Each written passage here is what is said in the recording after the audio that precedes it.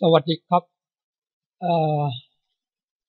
เราจะมาประกอบนะครับ ประกอบเข้าที่เครื่องเดิมนะครับ อันนี้สังเกตลายวงจรนะครับ จะมีลายวงจรทั้งสองด้านเลยครับมันเป็นเป็นบอร์ดสองหน้านะครับ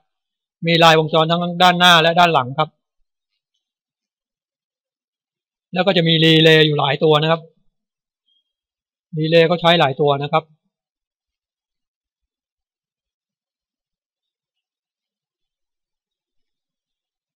แล้วก็จะมีหม้อแปลงแบบวงแหวนนะครับ แบบกลมๆนะครับ แล้วก็เส้นลวดมาพันเป็นหม้อแปลงครับดังนั้นเราจะทำการประกอบฝาเข้าไปครับ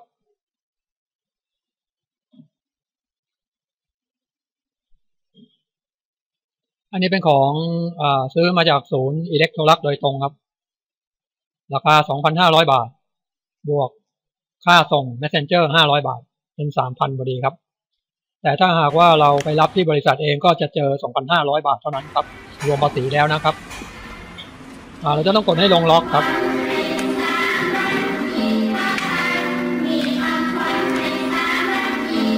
เราจะต้องกดให้ลงล็อกทั้งหมดครับตรงนี้ก็คือที่ล็อกเราต้องเปิดตัวนี้ก่อนครับ คุณจะสามารถออกได้นะครับ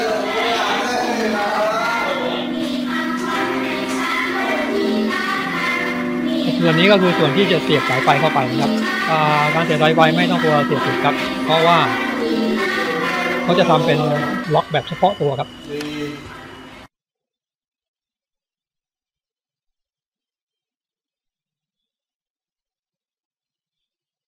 อันนี้ก็คือวันผลิตครับสี่สองสิบเจ็ดมีการตรวจสอบมาแล้วนะครับ ตรวจสอบว่าใช้ได้ครับ ซื้อจากบริษัทอิเล็กโทรลักโดยตรงนะครับถ้าซื้อจากร้านข้างนอกจะเจอ 3,200 บาทไปรับเองครับจะให้ส่งไปตอนนี้ก็ 3,300 บาทครับตัวอิเล็กโทรลักนะณณณวันนี้ยังไม่มีการส่งไปรษณีย์นะครับจะต้องไปรับเองเท่านั้นครับ การเสียบสังเกตว่าถ้าหากว่าเสียบผิดเสียบช่องผิดก็จะไม่เข้าเลยครับ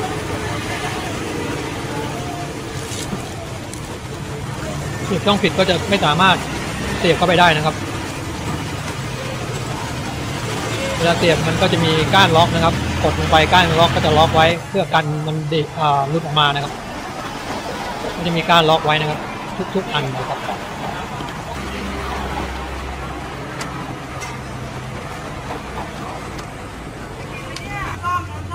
ทำการเสียบเข้าไป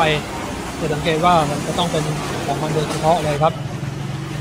บางอันเข้าล็อกได้แต่ตรงนู้นมันต้องเข้าไม่ได้นะครับ ที่แผงเขาก็จะมีทำเป็น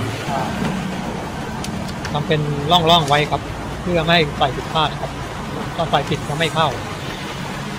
จะมีก้านล็อกนะครับก้านล็อกนั้นนะครับจะล็อกไม่ให้มันหลุดออกมานะครับเวลาใช้งาน มันจะมีการสั่นสะเทือนนะครับ มันก็จะได้ แต่ก็จะมีที่ล็อกไว้นะครับ มีก้านล็อกไว้ เพื่อการหลุดมานะครับ เวลาเครื่องมันทำงานนะครับใส่แล้วดูนะว่าว่ามันล็อกไว้ทั้งหมดหรือไม่นะครับเพื่อการปัญหาที่ตามมานะครับไฟไฟทุกเส้นเราก็ต้องเสียบเข้าไปนะครับเข้าที่ทั้งหมดครับ มันก็จะเสียบเข้าไปในด้านนั้นนะครับเราจะไม่ใช้ตะปูควงนะครับส่วนส่วนตรงนี้ก็จะมีแง่งนะครับ แง่งก็สามารถล็อกได้นะตรงนี้คือสายไฟนะครับมีสายดินนะครับ แล้วก็สายไฟ AC นะครับ แล้วก็มีสายชุดนึงครับ ทั้งหมดมีเป็นสามชุดนะครับ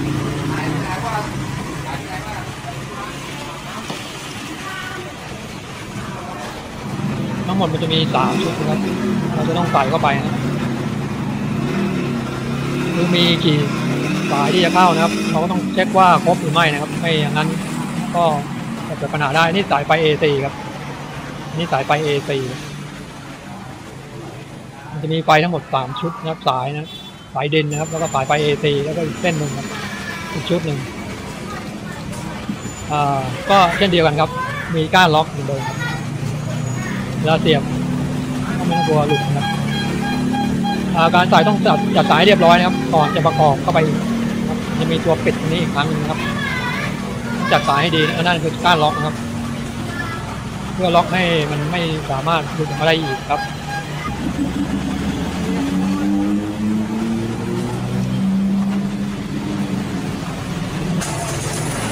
อ่า นี่ก็เราก็ประกบปิดไปครับ เมื่อเราจัดสายเข้าล็อก อ่าก็จะมีล็อกให้เราเข้านะเราก็เข้าแล้วครับ จากนั้นก็เสร็จเรียบร้อย แล้วสายดินนะครับ สายดินก็จะมีหลายแห่งนะครับก็จะมีที่ตัวถังด้วยนะครับ แล้วก็ที่มอเตอร์ ที่มอเตอร์ก็จำจำเป็นต้องต้องมีสายดินด้วยนะครับ ถ้ามอเตอร์ไม่มีสายดินนะครับ เวลาที่เราเก็บผ้านะครับล้วงเข้าไปในถังนะครับ จะโดนดูดนะครับกรณีมีไฟรั่วจะโดนดูดทันทีเลยครับ เพราะว่ามอเตอร์ก็จะต่ออยู่กับแกนถังซักครับ ต่ออยู่กับแกนมันนะครับ มอเตอร์ก็จะต่ออยู่กับตัวถังนั่นแหละครับ ตัวถังที่ว่าซักผ้านะครับมันจะมีร่องนะครับ เราก็ใส่เข้าไป ถ้าเราไม่ใส่สายดินที่มอเตอร์ เวลาเราเก็บผ้านะครับ มันจะดูดถ้ากรณีไฟรั่วต้องเสียบเข้าไปด้วยครับแต่งานนี้เราไม่ได้ถอดนะครับ งานนี้เราไม่ได้ถอดสายดินตรงนั้นนะครับ พูดไว้เฉยๆจากนั้นก็ทำการเสียบแจ็คลงไปครับ อ่า จะเป็นสี่เส้นนะครับตรงนี้ แจ็คไฟโชว์นะครับ จะมีแจ็คเดียวครับ จะมีเพียงแจ็คเดียวเท่านั้นครับ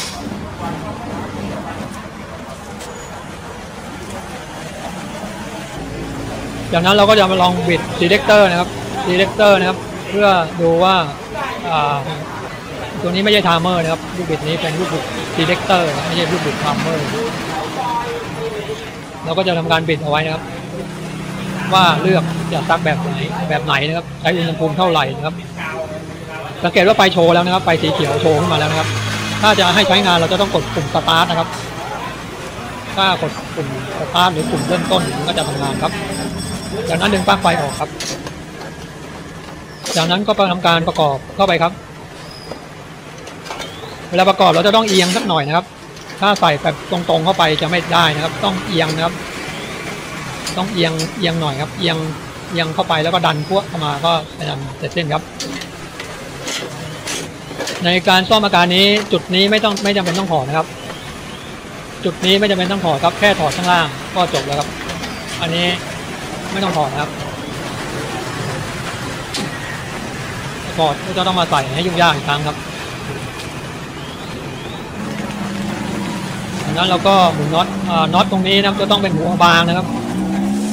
ถ้าหัวหนาจะไม่ได้อ่าตรงส่วนตรงนี้จะเป็นน็อตหัวหนานะครับใส่เข้าไปครับน็อตหัวบางครับ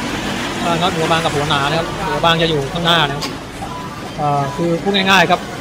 เอาเอาประกอบฝากลับเข้ามาครับฝาปิดด้านบนมันจะต้องไม่ไม่ชนนะครับไม่ชนน็อตนะครับ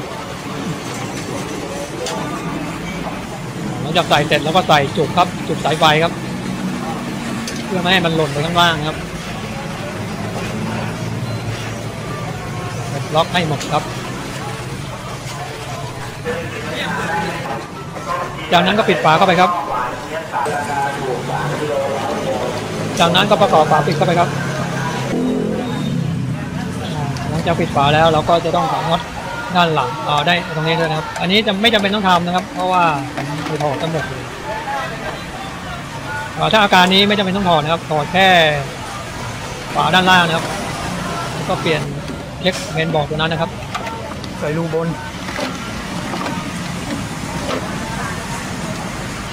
อ่าจากนั้นก็หมุนอ่าน็อตเข้าไปครับน็อตด้านหลังก็จะมีสองตัวครับ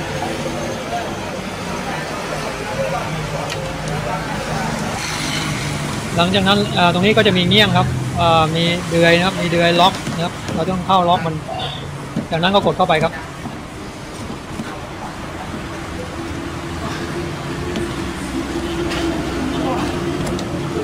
หลังจากประกอบเข้าไปเสร็จสิ้นก็เป็นอันจบครับ